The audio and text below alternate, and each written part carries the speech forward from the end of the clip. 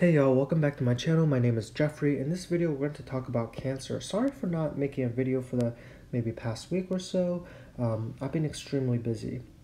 But let's just first talk about cancer, and there's going to be two major uh, uh, categories that cancer falls under, and it's going to be monoclonicity or polyclonicity. And essentially, monoclonicity just means that um, the there's only uh, one certain type of mutation that is found in all of the cancer cells. And then polyclonicity is where uh, you take a look at the cancer cell and they actually have multiple different genes that are affected, which is not usually the case. Um, so uh, because it's it's a lot more rare for polyclonicity to appear if it's not, for example, uh, a familial type of cancer that you inherit from your parents. So for monoclonicity, there's going to be three different types. There's going to be X inactivation, where all of your cancerous cells have the exact same X inactivated copy. Now remember, um, this is only going to happen in females because once again, um, you only have X inactivation in females or uh, patients with Klinefelter syndrome, for example. And um, but you know, Klinefelter's is already a tough enough um, disease on its own. But essentially you're just not going to have that random X inactivation. So if you can see that every single uh, uh, X copy on this cancer in these cancer cells are um, are mutated in the exact same way, then you can see that uh, this is going to be X inactivation. You could also have cancer chromosomal abnormalities. So this is where uh, all cells have the exact same genetic aberration. So for example, if you're going to look at chromosome 18, um, uh, and you and you can see that that's there's going to be a certain mutation on that MYC gene, um, and it's the exact same mutation, then that's going to be a cancer chromosomal abnormality. And then the last one is uh, antibodies, right? So for multiple myeloma, for example, you're going to have the exact same type of antibody that is produced by these cancer cells to attack B cells. So that's uh, these are the three major ways that you can test and see for monoclonicity. And then if it's not that, and if you and you can see maybe all three of these, then maybe it's polyclonicity. There's going to be some uh, major genes that are targeted by cancer because once again, remember, cancer likes to divide uncontrollably, and in order to get that division, um, that uncontrollable division, you're going to need maybe one or maybe all four of these uh, different factors. So either you could have a gain of function in your proto-oncogene. So this is going to be uh, what is known as the one-hit type of hypothesis, where if you just have one proto-oncogene that is upregulated as opposed to two, both of them, then you can actually get cancer because um, these proto-oncogenes actually stimulate that cell division cycle, right? It allows you to bypass that G1, uh, S, G2 phases, all right, checkpoints. Uh, you can also have your tumor suppressor, so uh, remember that the most famous is going to be P53, but essentially this is going to be a loss of function. Um, it's what we refer to as a two-hit hypothesis because you need both of those P53 genes or both of those tumor suppressor genes to uh, be mutated in order to get um, uh, a cancer, right? So you only need one functional copy in order to actually uh, maintain the function of this tumor suppressor. But essentially, remember, it's going to be a loss of function. There's going to be apoptosis regulating, so this can be either gain or loss of function. Uh, as you might imagine, for loss of function, this is probably going to be happening in your cancer cells, right? So if your cancer cells have a loss of function of apoptosis, that means they're going to survive longer without dying. And then a gain of function will be in those somatic cells, in those regular cells that are not cancerous. And then finally, it's going to be DNA repair. And as you might imagine, uh, we have many, many different mutations or um, uh, carcinogens that are going to try to uh, make sure our base pairs are not going to uh, uh, pair correctly. Um, and these are going to be loss of function in order to cause cancer. This is just a short uh, kind of figure, small figure showing you the MAP kinase pathway. Essentially, you're going to have a growth factor. It's going to bind to that growth factor receptor, and it's going to activate RAS, which means switching out that GDP with a GTP, and that RAS actually has intrinsic GTPase activity, so uh, it'll be inactive again. It'll inactivate itself by subbing out that GTP with GDP over a very short period of time, but not before it activates this active RAS pathway where it interacts with many different downstream effectors, leading to activation of gene transcription and then also other different types of um, changes throughout the cell. Now, everything that I've labeled in salmon here are going to be certain mutations that are going to allow for uh, maybe cancer to progress.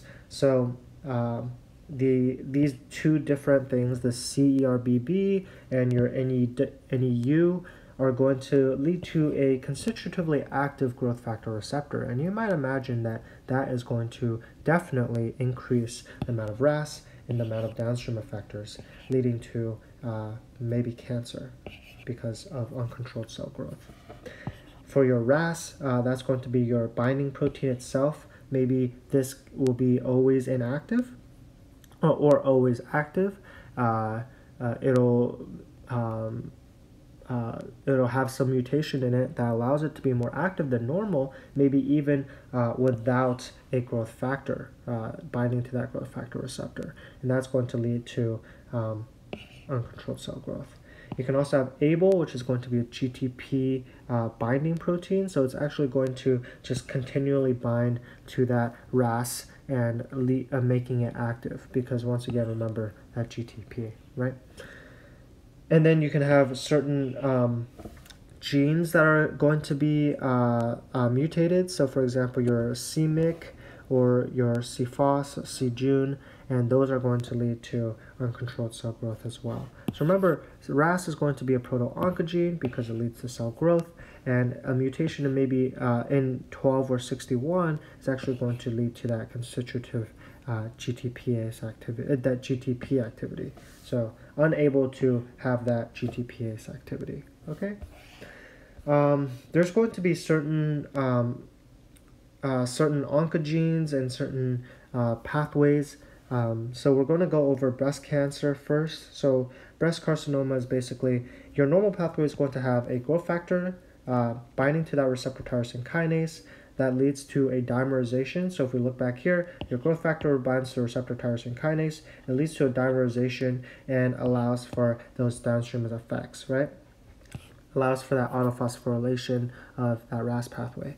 So here, um, the actual receptor tyrosine kinase is actually going to be HER2. And uh, in breast cancer, essentially going to have upregulated HER2. There's going to be a ton of receptors, uh, and as a result, any uh, amount of the actual uh, growth factor binding to HER2 is going to be amplified, right?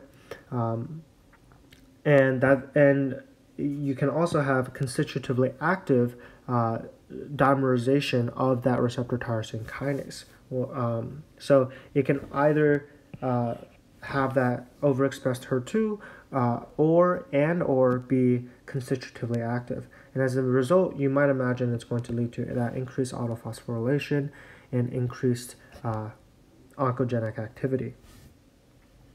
Now, there's going to be two different ways that you can overexpress your HER2. You can either have amplification from a double minute. A double minute is an extra chromosomal piece of DNA that somehow find, found its way into the nucleus and was being transcribed, or it can be a homogeneously uh, staining region. So these regions are actually just going to be uh, duplications of the HER2 gene. So when it actually does get expressed, you're going to make two, three, four copies as opposed to just one, right? So you're going to have that overexpression of HER2. You can also, this is the gene that actually encodes for HER2. So maybe uh, if the ERBB2 gene is going to be um, mutated so that it's uh, transcribed constitutively or transcribed more than normal, you can also have that overexpression of HER2. Now the treatment is going to be Herceptin or um, uh, tra- trastuzumab, and that's going to actually um, be a monoclonal antibody for HER2. Um, all right. So Um, so we talked about ERBB2 is going to be for HER2 for breast cancer. Um, for your chronic myelogenous leukemia, this is actually going to be for uh, ERBB1, okay? But essentially, this is just going to be um, uh, malignant white blood cells, right? Um, so you're going to have a translocation of ABL, which is an oncogene from chromosome 9 to chromosome uh, 22. So uh, that's going to encode for your BCR, okay? And that's uh, this is also known as the Philadelphia chromosome because your chromosome 22 now actually has a fusion of your ABL with your BCR gene. Okay, so that's going to make a fusion gene and um, it's going to make a, a protein that's going to be coupled together and it's going to result in a constitutively active tyrosine kinase. And this tyrosine kinase is going to be um, in your cytoplasm. All right, so the treatment for this is going to be imatinib or Gleevec, and that's going to bind to the ATP binding site of the BCL ABL complex. So when you have your BCL ABL, it's going to look something like this, and it's going to have that ATP binding site right there. And remember, your cell actually has a, a ton of ATP, so anytime that ATP is bound there, it's going to be the active a- BCL ABL complex, and it's going to lead to a constitutively active uh, tyrosine kinase, right? So uh, imatinib is essentially just going to be binding to that ATP binding site, um, uh, preventing uh, this BCL ABL from doing its oncogenic activity. All right. You can also have Burkitt's lymphoma. This is going to be a translation of your MYC, which is on your chromosome 18, to your chromosome 14.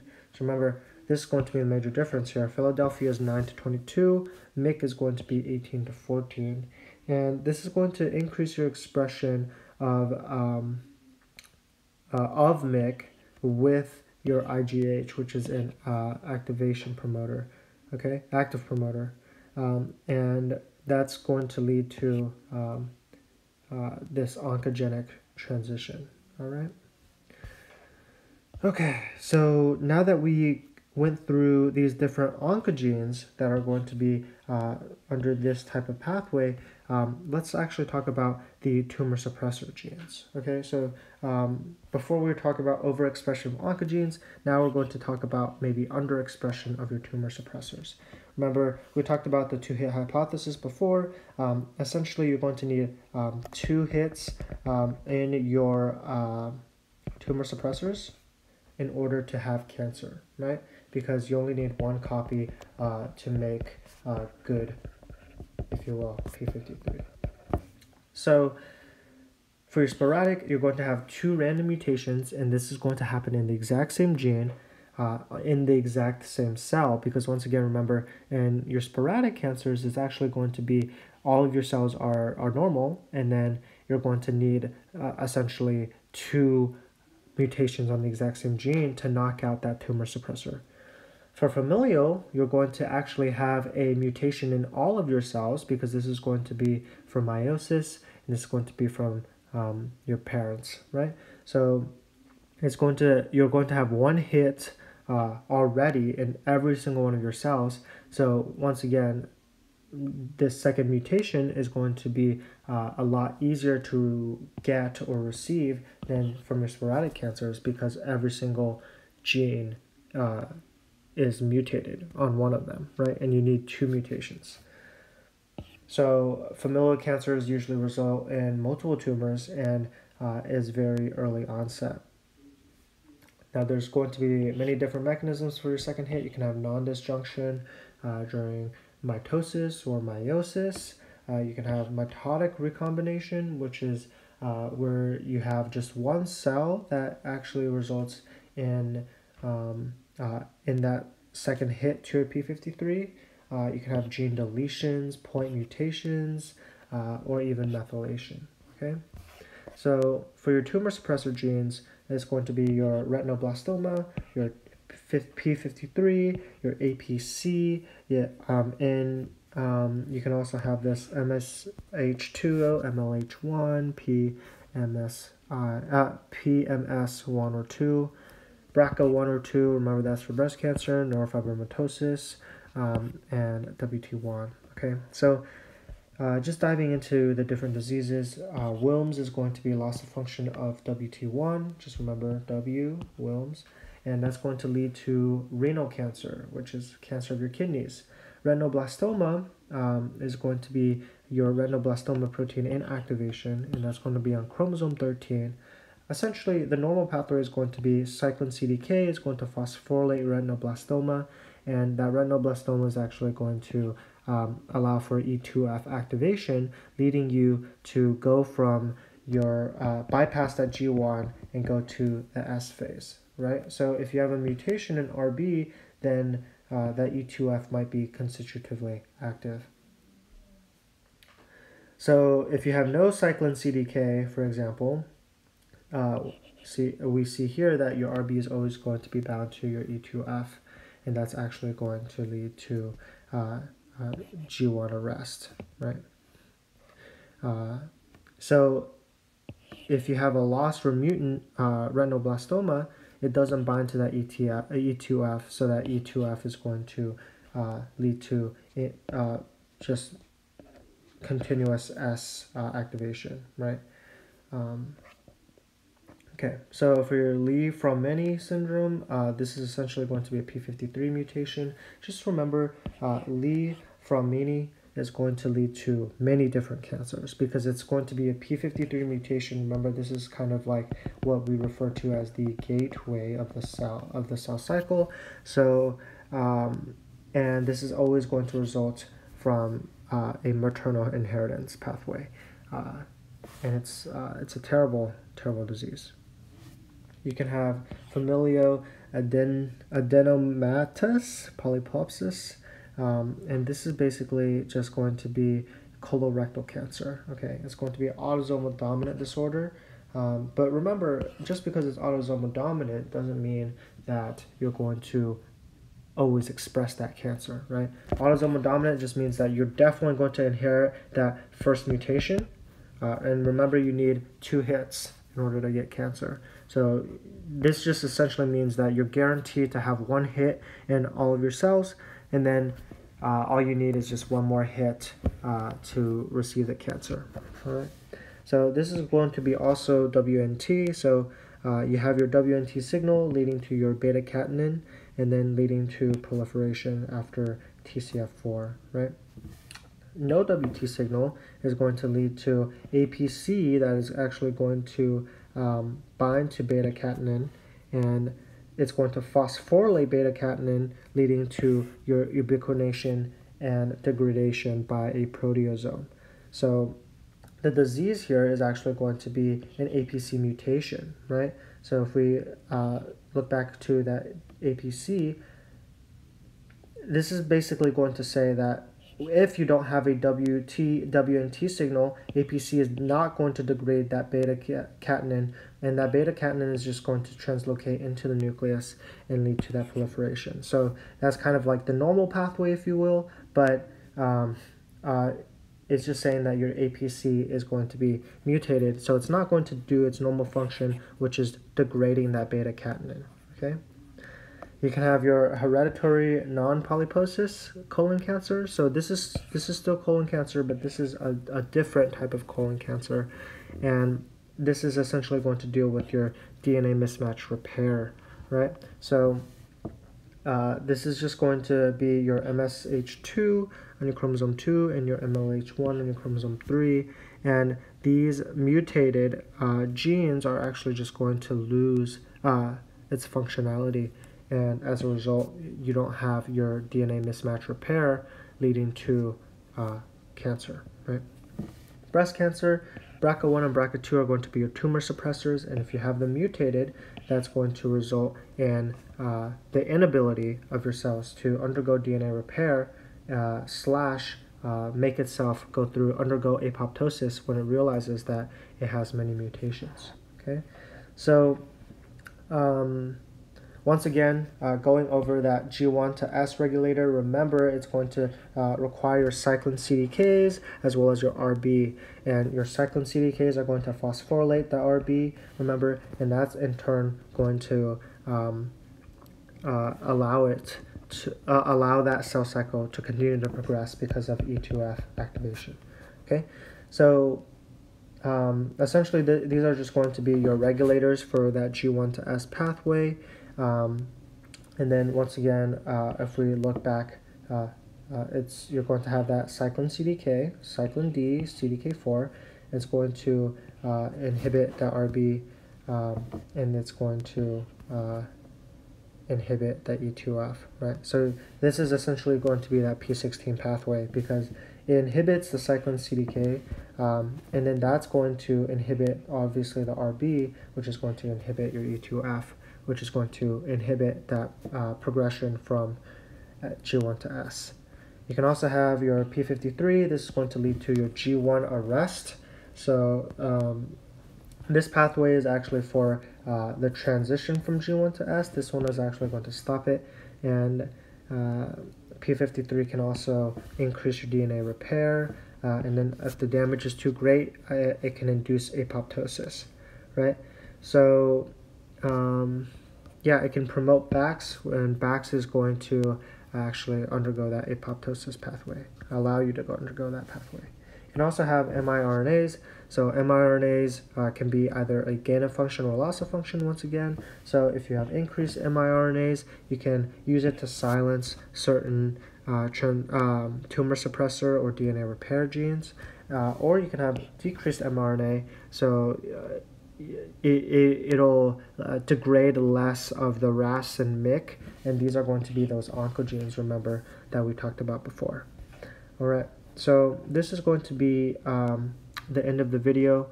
Uh, I hope that uh, you guys have learned something and I hope that this video has been helpful. Thank you. Have a good day.